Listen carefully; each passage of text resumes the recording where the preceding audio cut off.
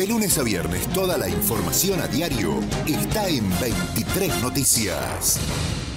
Detuvieron a seis personas, secuestraron un auto y a un motocargo. La sección motorizada del destacamento de desplazamiento rápido aprendió a seis personas, secuestró un auto y a un motocargo más mercaderías en exhaustivos controles para evitar el ingreso de personas por pasos clandestinos, a fin de mantener el estatus sanitario de los formoseños. En recorridas sobre la barrera en el barrio Bolsón Grande de la ciudad de Clorinda, detectaron estacionado un automóvil desde el cual un hombre y una mujer sin barbijos descargaban mercaderías para ser pasados hacia la República de Paraguay. Junto a ellos estaban otras personas que, al advertir la presencia policial, huyeron hacia el lado paraguayo.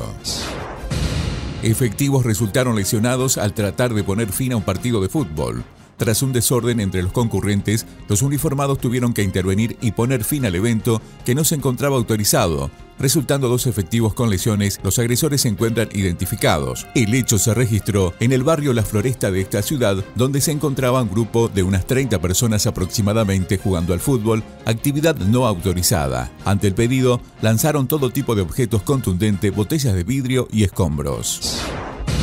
Le acercaron cocaína y bebidas alcohólicas a un hombre que cumple cuarentena en un hotel de Clorinda. Un efectivo que brindaba seguridad en un centro de alojamiento de Clorinda secuestró 28 latas de cerveza y una botella de Fernet que dejó un sujeto a un hombre que cumple cuarentena. Además se secuestró un envoltorio con cocaína. Un efectivo de la policía en un momento dado observó que tres jóvenes ingresaron en la parte lateral del edificio se realizó una recorrida en el interior del edificio encontrándose con un hombre en el pasillo de la planta alta quien ingresaba a su habitación con 28 latas de cerveza, inclusive con un envoltorio con cocaína. Siniestro fatal frente al barrio Divino Niño.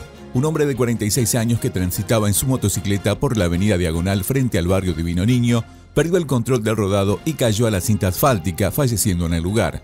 El siniestro vial se produjo el domingo cuando un hombre de 46 años se desplazaba en una motocicleta hacia el barrio Lote 111. Por cuestiones que se investigan, el conductor perdió el control de su rodado a la altura de la intersección con calle Pacíficos Cocina y cayó a la cinta asfáltica produciendo el deceso instantáneo del hombre. El gobierno evalúa la posibilidad de un IFE 4.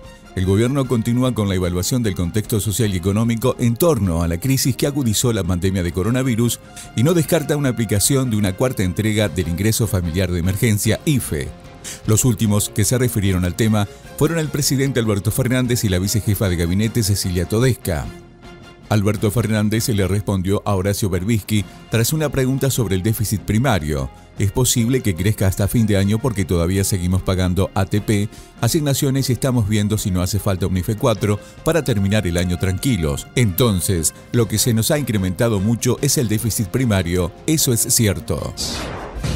El tiempo para hoy martes en la ciudad de Formosa pronostica un cielo despejado, con una mínima de 19 grados y una máxima de 35 grados mientras que para mañana miércoles se esperan tormentas con probabilidad de lluvias del 70%. La mínima será de 17 grados y la máxima de 31 grados.